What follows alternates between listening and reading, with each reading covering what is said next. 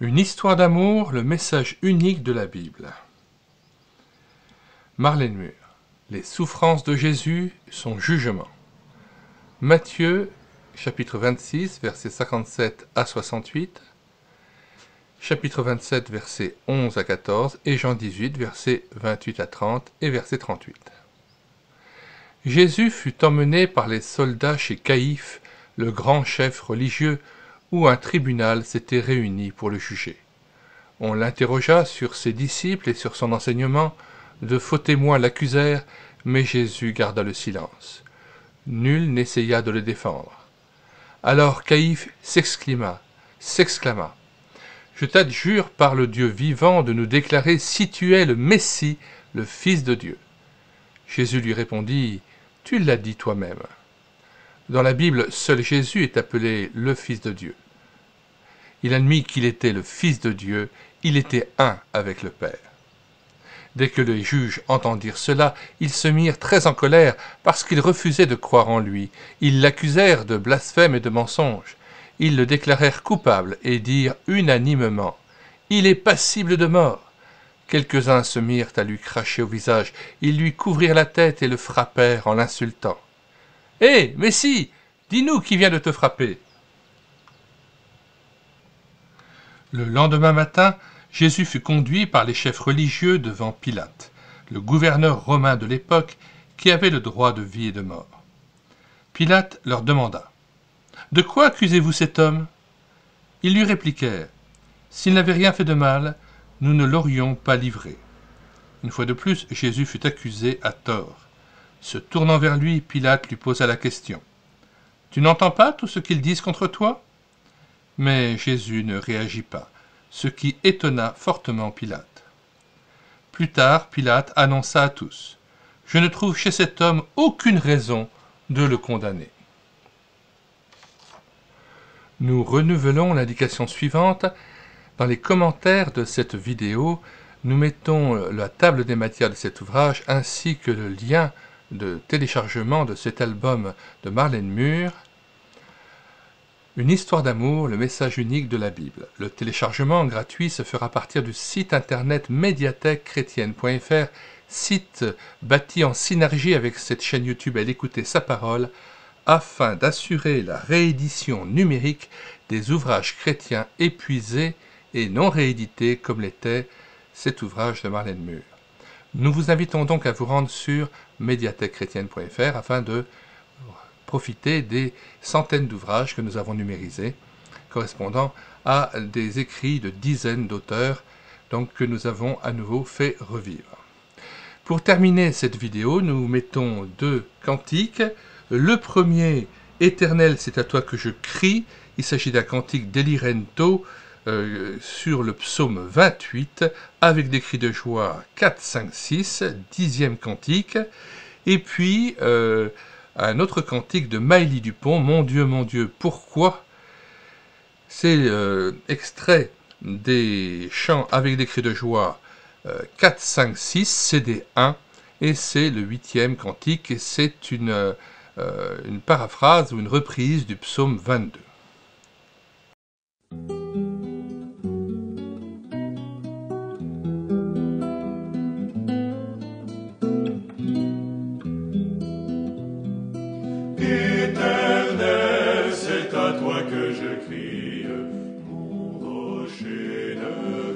vaso.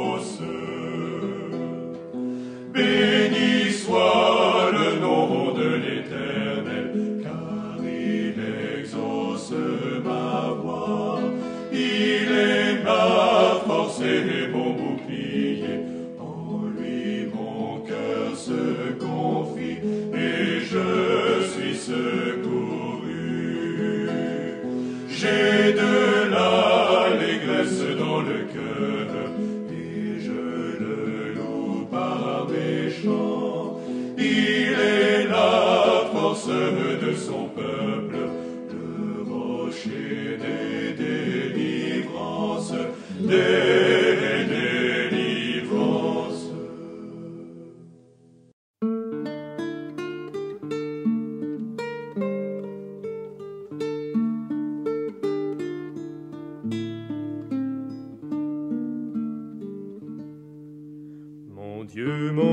pourquoi m'as-tu abandonné et t'éloignes-tu sans me secourir?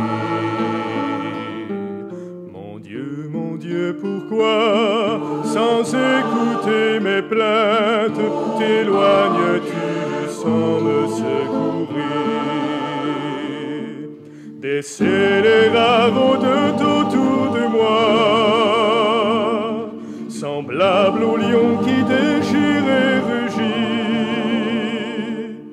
Mon Dieu, je crie le jour et tu ne réponds pas. Dans la nuit et je n'ai point de repos.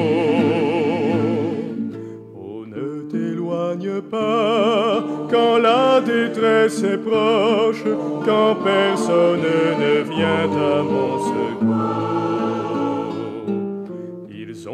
Percé mes mains, ils ont percé mes pieds, et je pourrais compter tous mes os. Ils se sont partagés mes vêtements,